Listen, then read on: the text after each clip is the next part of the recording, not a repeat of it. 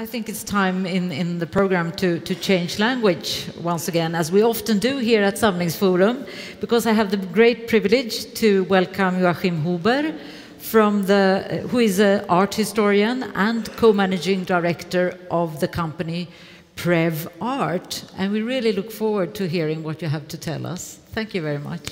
Tack. Um, good afterdag. That okay? In my dialect, it would be grüßer, very short and quick. So, um, keep the balance is my topic today. In German, it's even um, a little bit more prosaic. How much culture is enough? So, a few years ago, there was a publication in German um, called the um, Cultural Infarctus. And the subtitle was um, Everywhere the Same and Too Much of Everything. And I took this um, subtitle as an introduction. Is it really the way that we have uh, our museums nowadays? And of course, the, the context makes the sense of an object. Of an object, if it is um, design, or if it is um, a specimen of um, Swiss precision technique, or if it is a journalist um, typing on a typewriter in the war, or Ho Chi Minh writing his political statements. Always the context makes the sense of an object. But not every object makes sense everywhere. In this case here, it makes sense because it's in a very small village in the Alps called Partschins. But where, why are there these um, typewriters? The, one of the inventors of the typewriters in the 19th century lived in this small village. He left, he returned after in his late life and um, was absolutely unknown, forgotten. And perhaps for this small village in the Alps, these typewriters are sort of a memorial of their Nobel Prize worthy people in their village. So every collection needs a policy. We can't have a collection, a real collection, without a policy. We need one. And the policy, in my opinion, is something which is focused to the future, not to the past we should look forward, not backward, in creating our policy for collections. We should focus the strengths of the collections and eliminating its weaknesses. And we should create, by creating a collection policy, a sort of confidence in the institution, in the collection, to, be, to go uh, further on and to enlarge the uh, impact of this collection. So, back to my um, specific interest, what is a storage facility? It's very simple. A storage facility is above all um, a repository and for heritage objects, nothing more. It's not an exhibition. It provides reasonable protection to cultural heritage, and sometimes it has also a facade which is quite nice, as you see in Munich on the left side. But we have three major challenges, challenges for the heritage preservation in the future. One, known to everybody, is the climate change, which will have a huge impact on our doing. The second is the question about resources we need for our museums, storages, what else. And, and it's not yet very well known, that we have a huge contamination within museums on the objects, which we will have to cope with in the near future.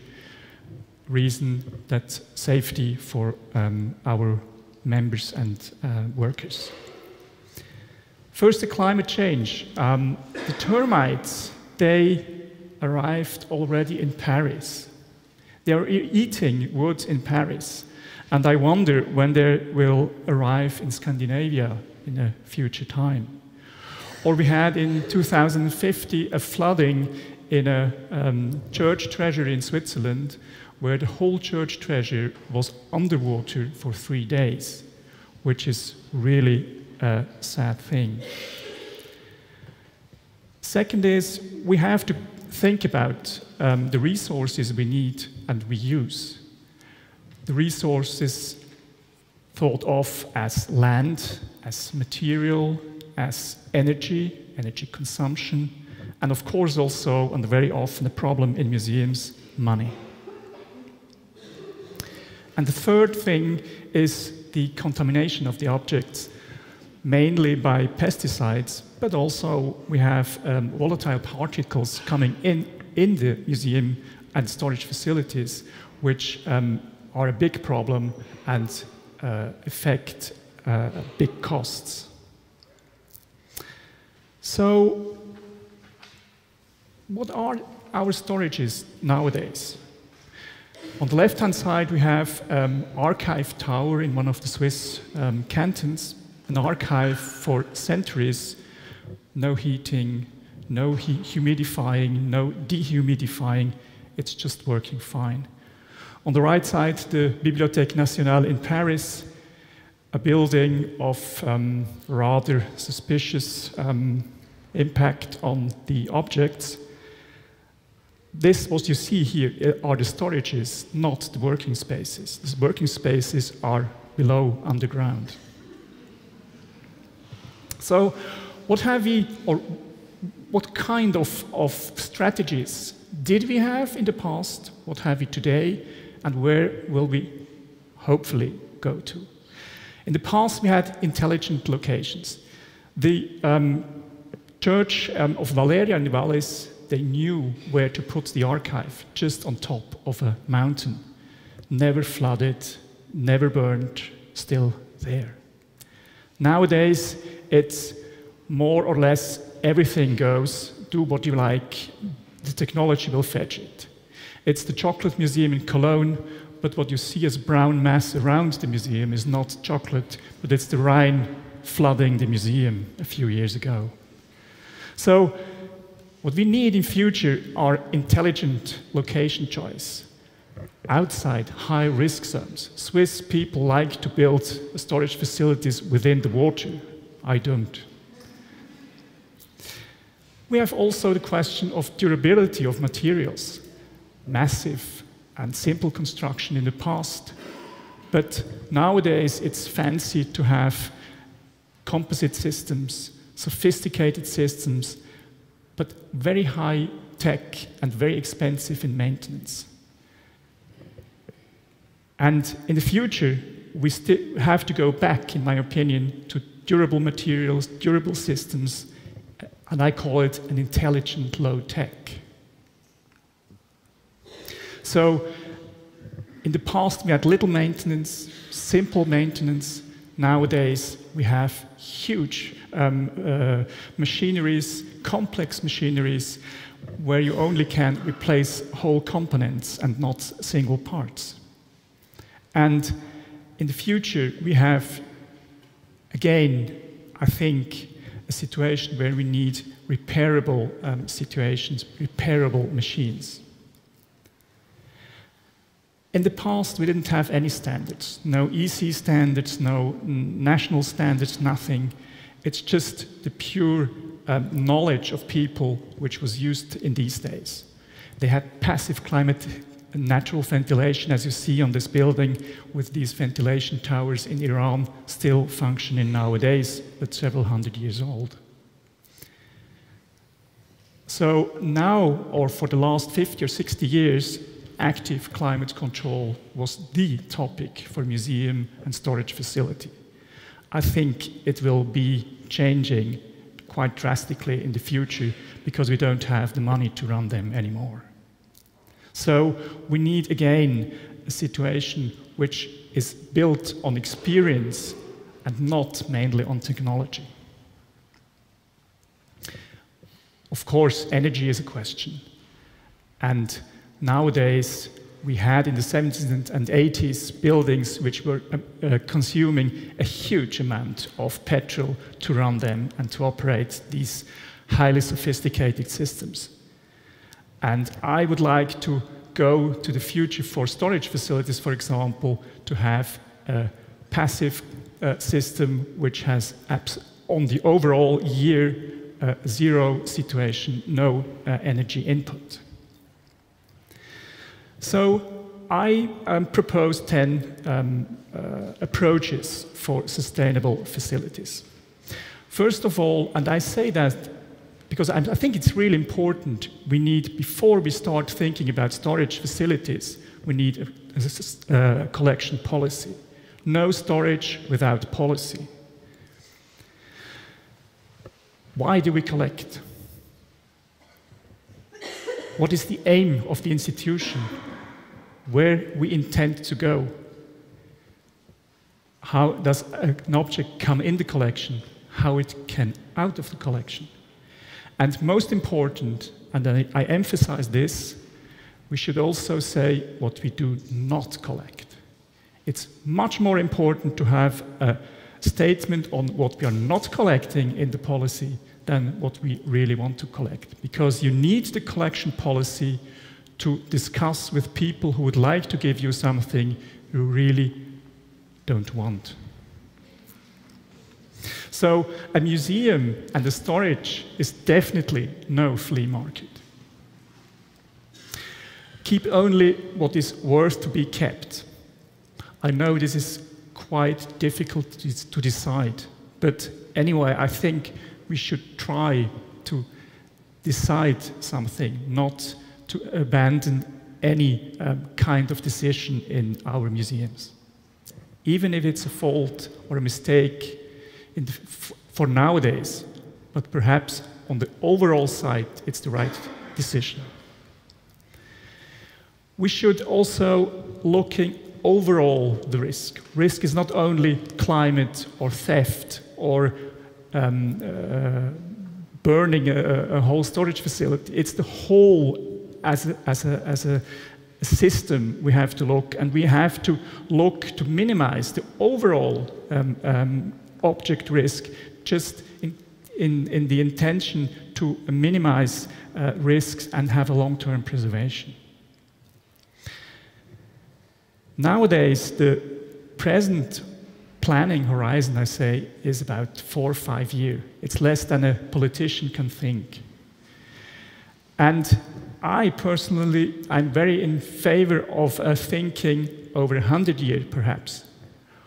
100 years is just four generations. It's more than we can remember. It's more than our grand-grandparents. Uh, but I think we have to think about what do we do actually nowadays in order to have the most relevant part of our collection in a hundred years' time? Not tomorrow, not in a week's time, but in a hundred years' time. It might be closing parts of the collection, dividing up a collection to be able to survive, to give this the, the, the possibility to survive for the collection for the future, future as a whole. And also, this Horizon 100 can be thought of as a geographic um, um, topic to think about is it really necessary to have a sewing machine every 10 kilometers the same, or might it be a, a, a point to work together between museums? In German, we would say we should look a little bit further than the rim of our saucer. And the intention in all this is to do the best with the money we have. Do something, something that helps to, for the future, that helps the most for the collection in 100 years' time, not for tomorrow. Realistic climate specification is a huge topic in, in storage facility um, talking. And I think it's just a question optimizing instead of maximizing. In the last decades, we did always maximize the situation with highly sophisticated technique, but we didn't optimize him on, on long term. Everybody here in the hall has um, had the experience of very cold and very hot climate. But the comfort zone for human beings is very, very narrow. It's only between 18 and 22 degrees, perhaps, very narrow. But if we have a look at different points where art has a problem with climate, and I say not that we have specific objects that need specific climate, but the, the majority of the objects doesn't have these very specific needs.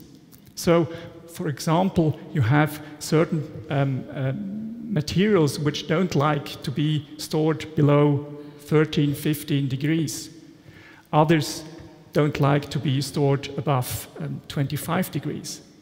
I don't say we can heat now or we can cool now, but I say we should broaden the view about the things.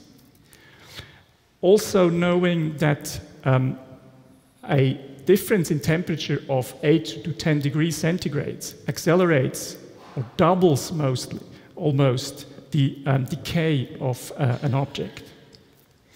So we should look at a little bit less um, uh, strict this, these questions.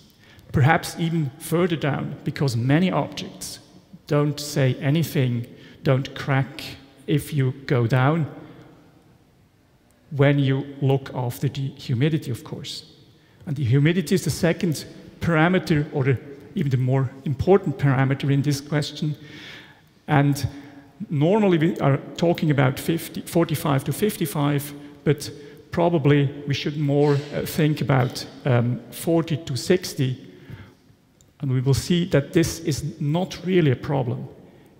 The problem is if you go above, when you have mold, or you go even lower down and you have a drying out of the object and distortion of the objects.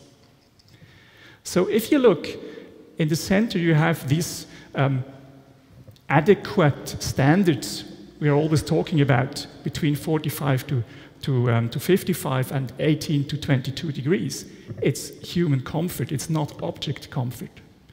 So we might think more in, in a, in a um, less strict way about this, even further down. Realistic means also that we have fluctuations we should try to avoid. This is made just by um, Photoshop, but that's how you persuade somebody that it's really dangerous in your collection. And this is the average fluctuation you see here, but probably you would rather like it this way around. Over the year, it might softly fluctuate a little bit. So the thing is, we would like less heating, less cooling, less humidifying, less dehumidifying. And this means also less maintenance. I know that it's not always possible, not in every climate possible, but we should thrive to this direction. And priority, of course, has always the climate stability. So when we see this, it's also clear that we should shift from an active climatization or air conditioning to passive systems, which would also be um, much less um, resource needed. One point I think is really important we shouldn't strive for 100% best practice. That's impossible and costs a huge amount of money. We should try to do our best for 95% and just take compromises or special solutions for the rest of the, of the 5%. If you take 100%, we will never reach that. But these 95% we can reach. One point is also that we always uh, take for granted that only the most expensive is the best for the objects. On the left side, you, left-hand side, you have um, these meshes for pictures, which are about five times as expensive as the situation on the right side, where you have a less sophisticated system. But for your second or third class object, maybe this is still uh, an improvement uh, compared to nowadays. I think also that we should try to be as compact as possible in order to have a situation, a storage facility, which has the least possible volume we have to look after. And also to minimize the footprint and the energy consumption. Then, very important, to protect our staff, we can't use any more um, toxic substances in, um, in uh, pest management. It's absolutely out of um, doing this nowadays. But therefore, we need to introduce from the beginning on um, an IPM, an integrated pest management system, to have, before we have an infestation, uh, a possibility to control the environment and the situation within our storage facilities. And I have personally one more goal. You see there um, this little cow, it's a souvenir quite known in Switzerland. It's industrial, um, but anyhow, it represents something simple. And I think we should also try to regain a little bit humility and modesty in our thinking about our cultural heritage. Because if you see this cow, it's not sitting al alone in a storage facility, but it has around, around um, a green. It has nature around. And we are just part of a whole system, a whole world, a whole living world. So I personally, I have a dream. I would like museum directors to create sustainable strategies for their institution. That they try to, to show what they are for. What is the intention of the institution? Why are we collecting what we are collecting? I would like the curators to create reasonable collection policies, policies which also allow for the future some changements, which allow to improve our collection, which allow also to release objects from the collection. But always with the intention to do it better and to facilitate it for the future to work with our collections. I would like to have the, the conservators to ask for reasonable uh, conditions especially um, climate conditions. I'm married to a conservator, so I can be a little bit nasty about that. But I think we cannot afford what we did in the last decades. And I know already a few museums which did shut down their um, uh, air conditioning systems. And the architects, they're also asked they are asked for simple buildings, buildings which still work when energy is cut off. They still work in 40 years or 50 years, not only today at the opening or tomorrow. And of course, I would like also the visitors, and I include visitors to people who have a right to see what is in the, in the, in the storage facilities we had the opening of the uh, new storage facility in, in Innsbruck, in Hall, in September, and we had in one afternoon 3,000 people who were asking to see what is inside this um, storage facility. So, how much cultural heritage is enough? Is it really um, worth that every 10 kilometers we have a dozen sewing machines or typewriters or toasters, all the same everywhere. On the left hand side, it's a rural museum in Switzerland. On the right hand side, it's a recently refurbished storage facility in Germany.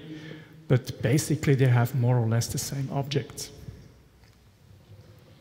Too much of all and everything the same?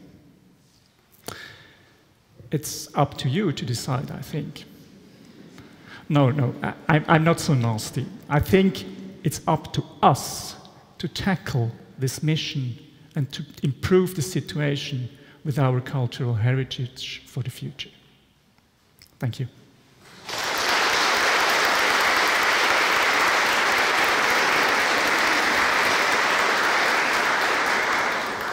Thank you, Joachim. That was superb. Uh, I think talking about collection policies, that is music to our ears. Uh, everybody's nodding here. We talk a lot about it this, these days. And I can tell you in the audience that there will be a, a workshop tomorrow. Uh, and lucky you who are going to that one. It's collection of basic collection quantity data for storage planning. Uh, so those of you who have signed up for that, I envy you.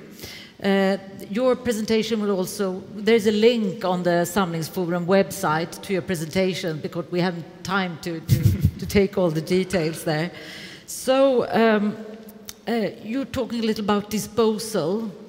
So you, would the disposal policy go hand in hand then with a collection policy, would you say? Or shall we have two different policies there?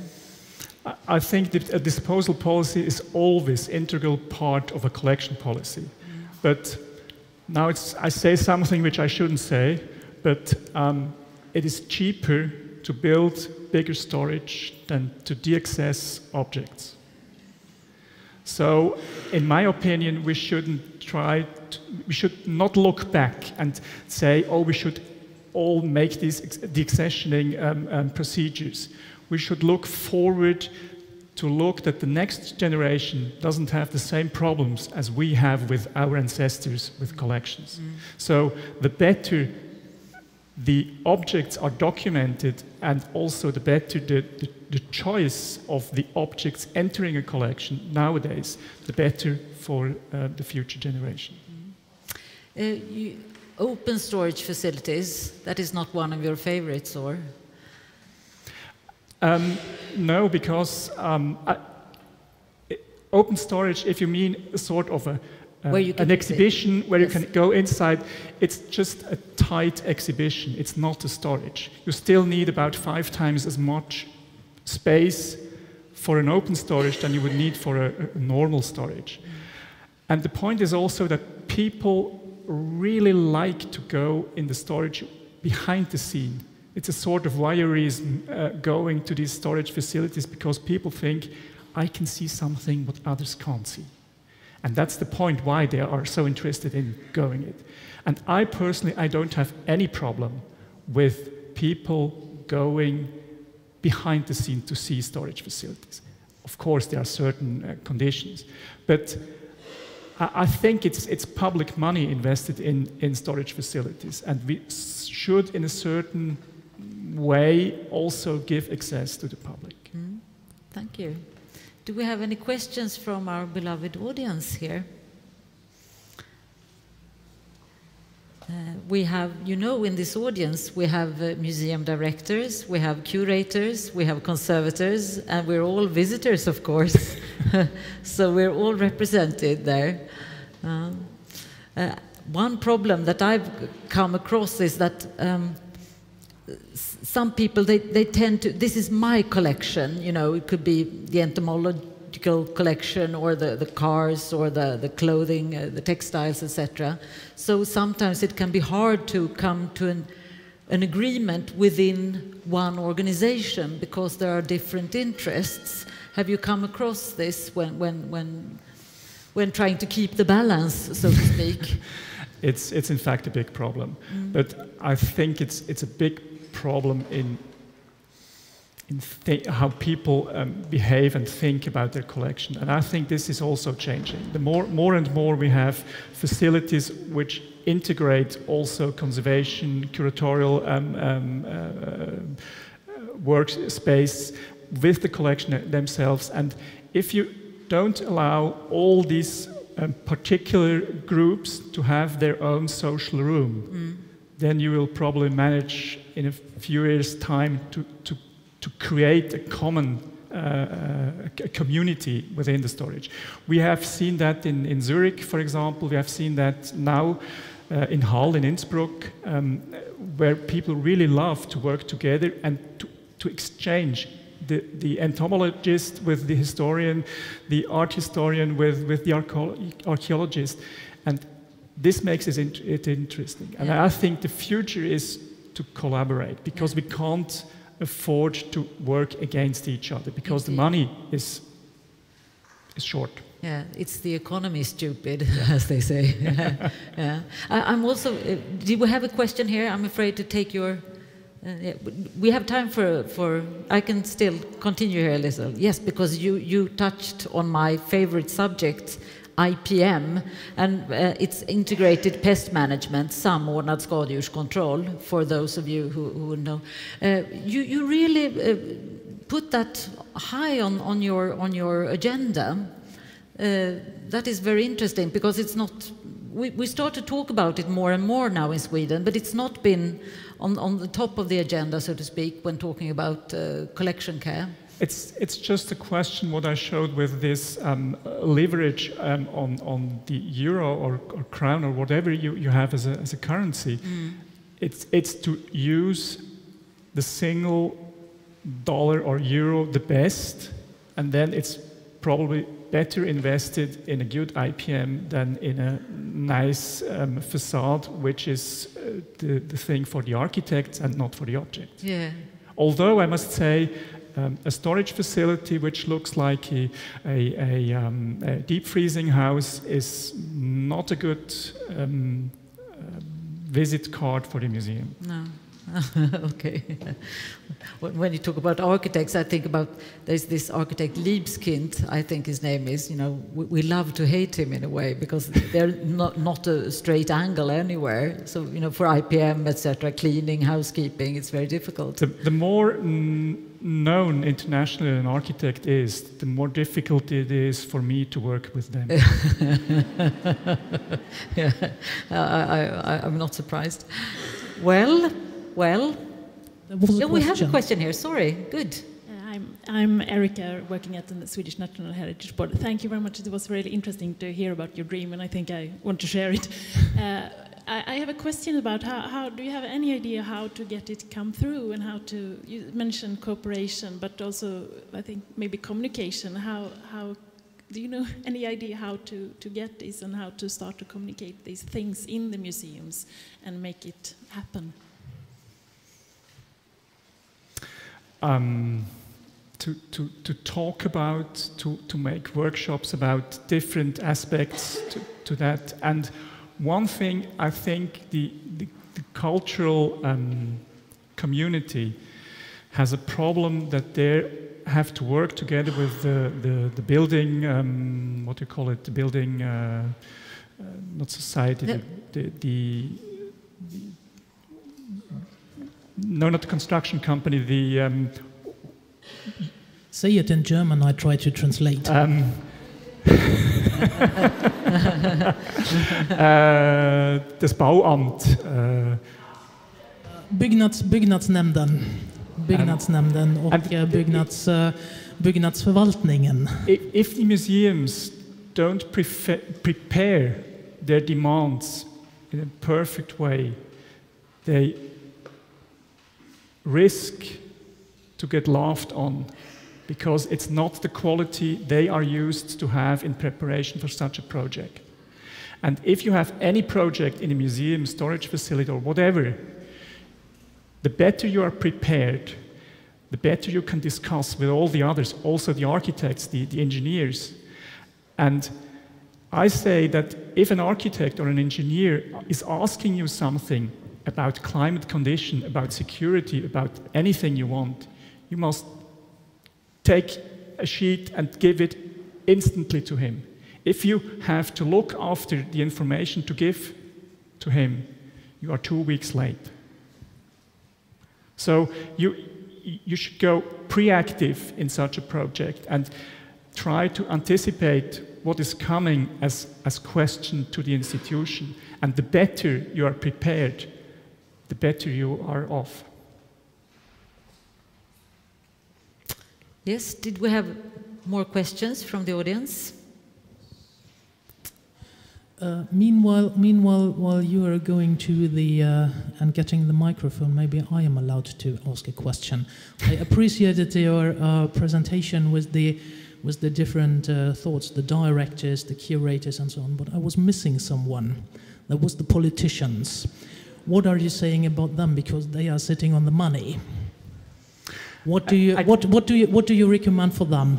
I, I didn't miss them. I didn't miss them okay. because um, I, I, was talking about a hundred years um, uh, horizon, and they are only within four years. That's the okay, but time can, they can think can, about. How can how can how can we manage? How can we manage to get them to think in one in, in about 25 or 50 years horizons, you, you, and you not not in your mandate period? You have to talk with the politician who is elected, who wants to be. Um, at an opening of a thing. So never start a project at the end of an electing period of a politician. That's one thing. and the other thing is if you can start at the beginning of his, his period, then he will be interested that you will have a result within four years. And it's the same as for the architects and, and the, the engineers. You need to be prepared, and the first time you are lost in, in, in being able to answer, you have lost the project. Okay, thank you. We have a question over there. Yeah, um, uh, uh, Teresa Mesket, um, Moderna Museet. And I'm, I'm sure that uh, there's a lot of examples of um, institutions that have uh, their materials, uh, for example, film in, in cold storage in uh, former mines. And I'm I'm, I'm wondering if you have examples of um, consortiums that um, have succeeded in integrating uh, different museums and, and other institutions' um, uh, collections in, in cold storage. And uh, this would involve, I think, that, that uh, politicians level and the institutional level. Um, but it it seems like that would be viable for a lot of um, smaller institutions too. Um, first of all, I must say that unfortunately the, the German-speaking area, Switzerland, Germany and Austria, has still enough money to make se separate um, um, projects for separate institutions. They still don't really work together, many institutions. It's more the Netherlands and more the Scandinavian um, countries doing that. That I must I must say that. Um, but it's coming more and more, and it's also a, a, question of mentality to share things and not to, to fear that the other would touch my objects. I have a project, or I had a project, where we had furniture of four different uh, institutions, and they didn't want to have them stored in one room. And we have to get to the point where we work together. It's not their cultural heritage, it's our cultural heritage. And as long as we look after the object, it's, it's okay to work together. And in my opinion, it's the only way to go. And it's also for specific um, things like film or, or, um, or, specific, which needs objects which need specific climate situa situations to take them out of an institution, perhaps to have a better situation at another institution, not to collect everything in every uh, institution. But it's still a question to persuade others that we are working together for our cultural heritage. Thank you very much. Did we have more questions? Or, yeah, it's time to stop. Yeah, fine. Well, then, Joachim, okay. many, many thanks, and you will get your, your gift there.